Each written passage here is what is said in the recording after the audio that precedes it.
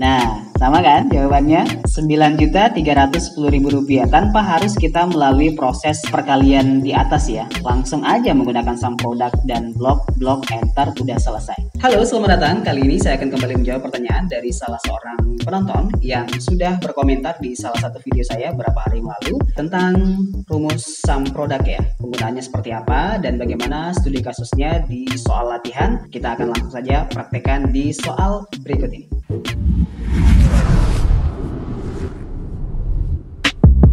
Di sini saya sudah menyiapkan eh, contoh soalnya berupa tabel ya, nama karyawan, hari kerja, dan juga honor harian. Jadi, sum produk itu sendiri sebenarnya bisa kita gunakan untuk menghitung total pengeluaran dari Zahpa Corporation ya, sebagai suatu perusahaan yang menggaji beberapa karyawan gitu kan berdasarkan hari kerja dan honor hariannya masing-masing. Sebenarnya kalau misalnya kita mau mencari secara manual itu bisa. Kita biasanya menggunakan format eh, jumlah di sebelah ini. Umumnya kita menggunakan rumus aritmatika ya. Jadi kita masukkan simbol sama dengan kita kalikan ya jumlah hari kerjanya 25 dikali honor hariannya berapa gitu kan. Lalu kita tekan enter. Nah ini jumlahnya ya sisanya tinggal kita duplikasi seperti ini. Nanti total dari keseluruhan ini untuk mendapatkan total pengeluarannya kita jumlahkan lagi gitu sama dengan sum lalu kita blok keseluruhan jumlahnya enter.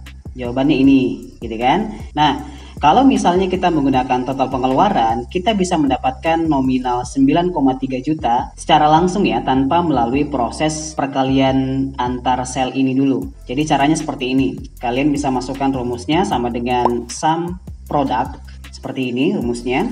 Lalu kalian aktifkan dengan menekan tombol tab. Nah, di sini akan muncul keterangan array 1, array 2, array 3. E, simpelnya tuh begini. Nanti nominal dari sum produk yang kita tampilkan itu otomatis dia akan mengalihkan masing-masing ya. Setelah rumus sum produknya aktif, kita langsung blok hari kerjanya seperti ini. Mulai dari hari kerjanya Agus Salim sampai dengan hari kerjanya Fauzan Pratama. Lalu kita sambung dengan tanda baca koma atau tanda baca titik koma tergantung dari uh, tanda baca yang muncul di komputer kalian masing-masing ya.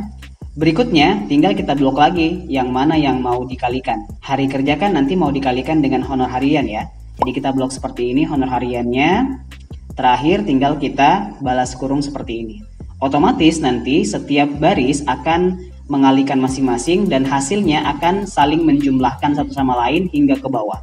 Sampai endingnya nanti kita akan mendapatkan nominal yang sama ya, yaitu Rp9.310.000. Nggak percaya? Ayo kita langsung tekan tombol enter ya.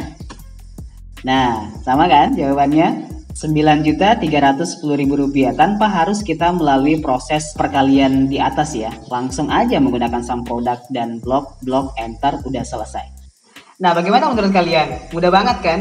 Jadi buat teman-teman yang lain yang pertanyaannya juga ingin dibahas di channel ini, silahkan langsung aja ketikkan di kolom komentar ya. Insya Allah satu persatu saya akan membahas pertanyaan dari teman-teman semampu saya berdasarkan pengalaman yang sudah saya peroleh sejauh ini. Berikutnya saya akan membahas pertanyaan dari salah seorang penonton yang juga sudah menuliskan komentar di salah satu video saya.